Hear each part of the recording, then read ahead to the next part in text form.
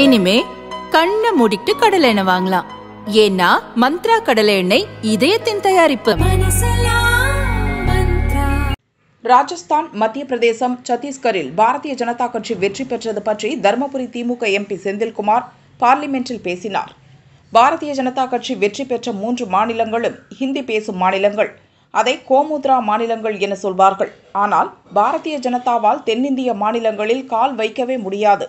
அந்த அளவுக்கு நாங்கள் இங்கே வலிமையாக இருக்கிறோம் தென்னிந்திய மாநிலங்களில் மறைமுகமாக ஆட்சிக்கு வர இந்த எல்லா மாநிலங்களையும் யூனியன் பிரதேசங்களாக மத்திய அரசு மாற்றினாலும் ஆச்சரியப்படுவதற்கில்லை என செந்தில்குமார் கூறினார் So that is the main reason that the people of this country should think that the power of this BJP is only winning elections and mainly in the heartland states of Hindi and what we generally call as the Gomutra states.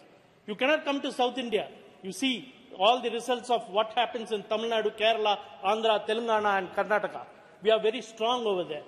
So we, we will not be surprised if you have an option of converting all these states also into union territory so that you can come into indirect power of coming and having because you can never dream of setting foot over there and taking control of all these southern states. So having the reservation bill into confidence. So we should first look into the history because ஏற்கனவே சனாதன தர்மத்தை ஒழிப்பேன் என அமைச்சர் உதயநிதி கூறியது. வட இந்தியாவில் கடும் எதிர்ப்பை கிளப்பியது. இப்போது சனாதன கலாச்சாரத்தை இழிவுபடுத்தும் விதமாக பேசியதை நாட்டு மக்கள் மன்னிக்க மாட்டார்கள். அதன் விளைவை விரைவில் ஊழல் திமுக புரிந்து கொள்ளும் என மத்திய அமைச்சர் மீனாட்சி லேகி கூறினார். கோமுத்ரா மாநிலங்கள் என திமுக எம்பி கூறியதை ராகுல் ஏற்றுக்கொள்கிறாரா? இந்த விஷயத்தில் இந்தியா கூட்டணியின் நிலைப்பாடு என்ன என பாரதிய ஜனதா கட்சி மூத்த தலைவர் சி டி ரவி கேட்டார்.